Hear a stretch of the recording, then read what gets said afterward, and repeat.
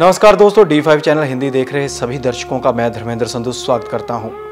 चैत्र नवरात्रि में अधर्म को समाप्त कर धर्म की स्थापना करने वाली माँ दुर्गा के तीसरे रूप, माँ चंद्र घंटा की स्तुति, पूजा अर्चना करने से सभी मनोकामनाएँ पूरी होती हैं। दिव्य शक्ति की स्वामिनी माँ चंद्र घंटा भक्तों के पापों व बाधाओं का नाश करती है।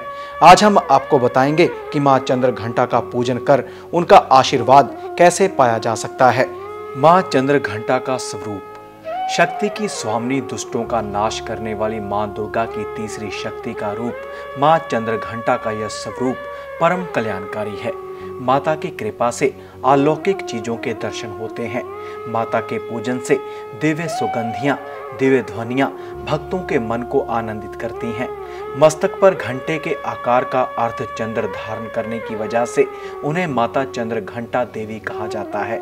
स्वर्ण रंग समान चमकीले शरीर वाली माता के दस हाथ हैं। माता अपने दसों हाथों में खड़ग शस्त्र तथा बाण धारण किए रहती हैं। सिंह पर स्वार माता की मुद्रा हमेशा युद्ध करने की दिखाई देती है। कैसे पाए माता का आशीर्वाद?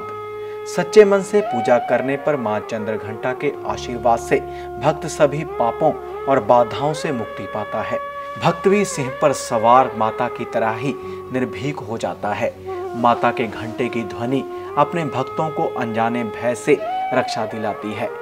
सौम्य और शांति के स्वरूप वाली माता की आराधना से भक्त में विनम्रता का विकास मुख व आँखों में तेज की वृद्धि होती है। माँ का स्तुति मंत्र। नवरात्रि के तीसरे दिन माता की स्तुति के लिए इस मंत्र का जाप ज़रूर करना चाहिए। या देवी सर्वभूतेषु माँ चंद्र घंटा रूपेण संस्थिता नमस्तसे नमस्तसे नमो नमः। इसका अर्थ है, हे माता, सर्वत्र विराजमान और चंद्र घंटा के रूप में प्रसिद्ध अम्बे आपको मेरा बार बार प्रणाम है। मैं आपको बारंबार प्रणाम करता हूँ। हे माता, मुझे सब पापों से मुक्ति प्रदान करें। नवरात्रि के तीसरे दिन माँ चंद्र घंटा समान सांवली रंग की विवाहित महिला का पूजन करना चाहिए। भोजन में दही और हलवा खिलाएँ, भेंट में कलश और मंदिर की घंटी ज़रूर भेंट करें। तो दोस्तों, ये थी माँ दुर्गा के तीसरे रूप चंद्र घंटा के पूजन की विधि से जुड़ी जानकारी। ऐसी ही जानकारी लेकर फिर हाजिर होंगे। जुड़े रहिए डी फाइव चैनल हिंदी के साथ।